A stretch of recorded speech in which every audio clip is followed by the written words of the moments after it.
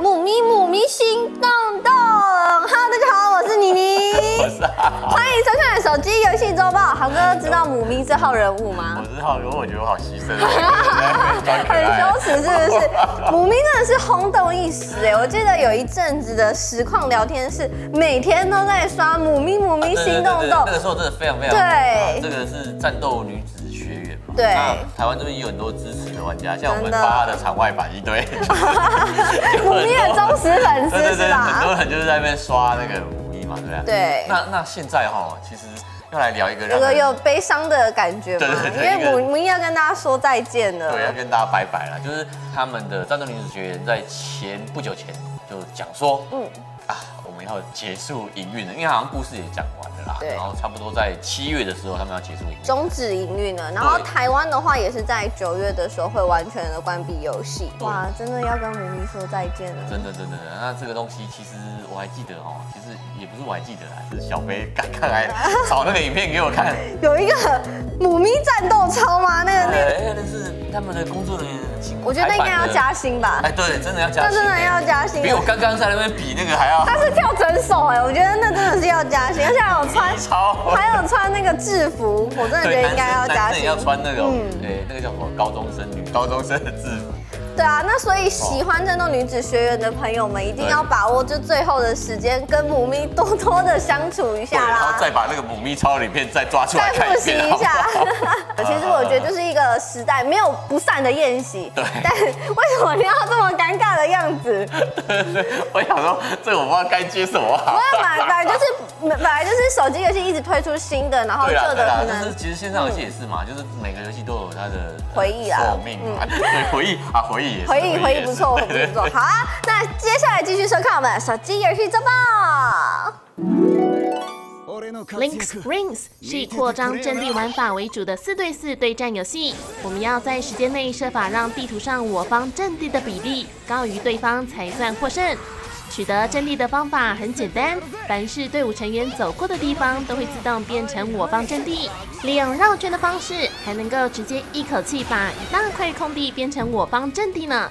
不过要注意哦，取得阵地也是要消耗能量的，所以场上的能量据点也要守护好，才能够让大家回来补充能量。当然，你也可以利用攻击敌人的方式来阻碍对手取得阵地。觉得自己技术不好，总是打不赢人吗？在这里默默付出取得阵地的人，才会是最后的 MVP 哦。Death Hole 是一款惊险刺激的平台冒险游戏。某天，玩家被不知名的魔王拘禁，在村民的帮助之下，找到了逃脱之路，但一路却是惊险万分。玩家必须要试图穿过重重刀山，再闪过獠牙巨斧。并在锐利的尖牙陷阱前紧急刹车。虽然说关卡危险重重，但好在每次都有四颗爱心可以消耗，而且在踩中怪物时还能够回复生命。然而，我们的逃脱行动依旧惊动了大 boss，他在后面如影随形，随时张开血盆大口，准备把你一口咬下。我们必须加紧脚步，快速抵达下个安全洞口，不然若是被他碰上了，就算再多条命也是会被秒杀的哦。DMN 上的网页游戏 Oblivious 现在也以晋级的阿斯托拉诺伦之谜的名称登上手机，并且抢先在中国地区测试喽。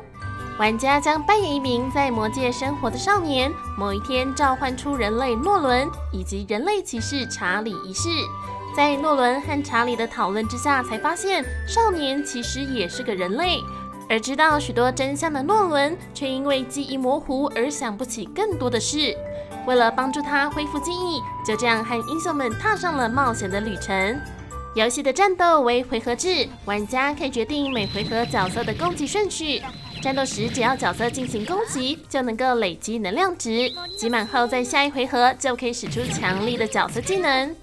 除了可以跟英雄培养感情之外，还有一个十分特殊的卸妆系统，只要消耗能量就可以对英雄的衣服进行破坏，进而改变英雄的穿着外观哦。当个专业考古学家，一起来挖骨头吧！在 Taptic My Museum 中，我们要经营一座博物馆，展出的内容就是这些史前大蜥蜴的遗骨。不过没钱没资源的，只好自己亲自动手去挖展品啦。我们要搭上飞机飞往世界各处，挖它个十万八千里。不过由于时间有限，我们必须在数十个沙土的范围里，以及限定的挖掘次数中挖到恐龙骨头，这就非常考验各位的技术和运气啦。只要成功挖出一只完整的恐龙化石，就能够吸引更多观光客前来参观，博物馆也就能多赚点门票钱啦。如此一来，我们就可以飞往更遥远的地方，继续挖挖挖喽。结合了象棋、RPG 以及卡片对战的七影七个王国与月影佣兵团在日本推出喽！玩家要运用策略和各种类型的卡片，想办法击败对手的队长角色才算获胜。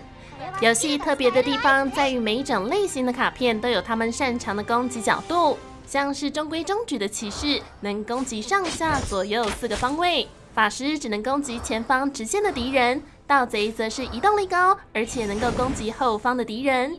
只要好好运用这些卡片的角度优势，就能在攻击敌人后不被反击，这也是制胜的第一步哦。曾经开发《Last Day on Earth》、《Survival》等游戏的俄罗斯公司又带来了新的游戏《Forest Born》。游戏的一开始，我们可以先在家园区域捡取素材，或者是打打猎来建造自己的家园。接着就要踏出自己的舒适圈，向外面的世界探险啦。离开家园后，外面有危险的野兽和怪物，要记得带些防身武器和路上可以用来果腹的食物。在这个世界中，最大的威胁还是其他的玩家。只要在外面死亡，身上的道具就会消失。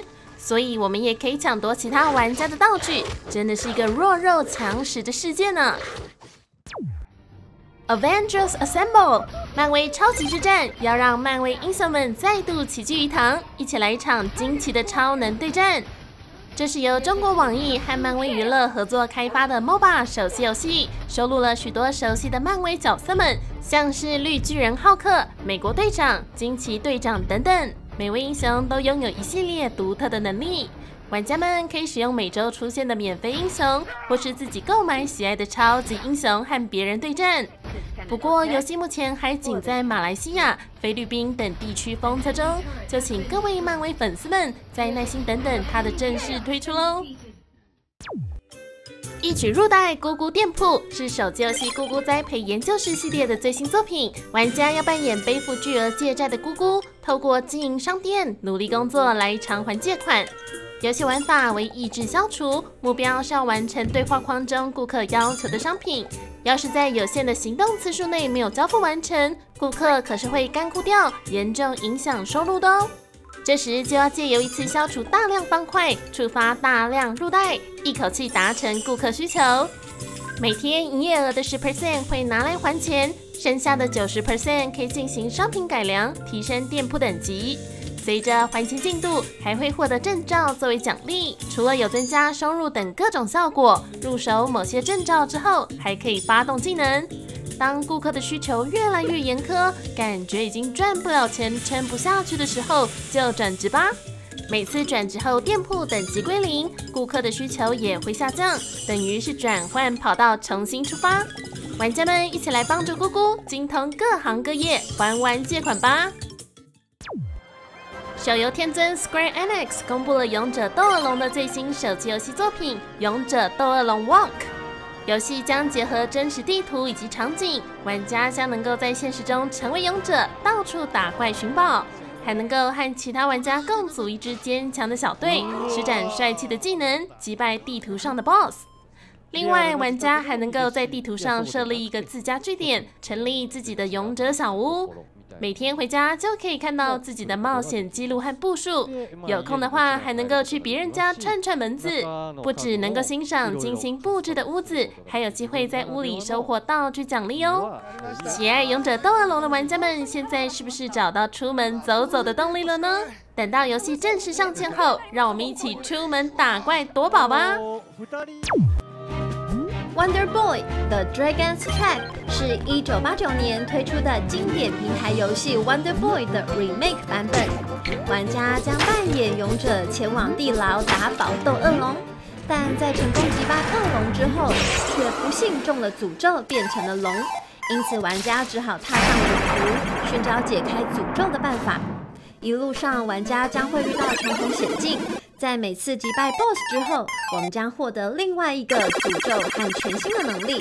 手机版除了可以欣赏全新的美术风格之外，游戏内还保留了复古风格的选项，玩家可以自由的切换来回味三十年前的美好哦。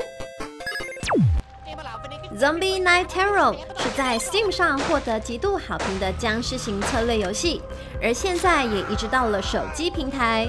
游戏中，玩家将从上帝视角体验让全世界行尸走肉的过程。一开始必须先仔细的观察地图上人们的行动，接着替理想对象注入僵尸病毒，他们就会疯狂的四处乱咬，而被咬中的人随后就会搭上这班僵尸列车。但人类也并非毫无反击之力，许多拿着枪弹火炮的保安会试图击杀你的成员。此外，僵尸也只知道横冲直撞，因此玩家还必须在地图上做出引导，像是帮助他们破门或是上下楼梯的方向，才能够确保全世界都能陷入这场疯狂哦。主打爽快对决的卡片对战游戏《我的回合》近期在中国展开了封测。游戏替玩家省去了组牌或是抄牌的烦恼，只需要决定出场的职业以及两张道具卡片，就可以开始对决。每局玩家将能够选择四名职业和对手来场生死斗，每个职业都有各自固定的卡片以及装备，玩家必须要妥善搭配不同职业间的技能，才能够战胜对手。此外，每个角色还有独有的 EX 大招。当下方能量集满时，就能够自由发动，给予对手后排致命一击，或是复活我方关键角色，逆转战局。说到了这里，喜欢这种玩法的玩家是不是有点期待了呢 For Two 是一款题材特殊的像素风格养成游戏。在未来的某一天，因为大灾害来袭，让世界上的生物几乎灭绝，存活下来的人们只好努力找出恢复大地的办法。因此，我们的任务就是前往室外探索，寻找存留的物种，透过正确的酶和它们的 DNA 来取得生物讯息。接着再将取得的 DNA 拿回到实验室中，合成新的物种，替这个世界注入全新的活力。但并非所有的组合都能够创造出新的生命。尝试失败时，可以试着阅读生物的进化路线，来找到更多灵感哦。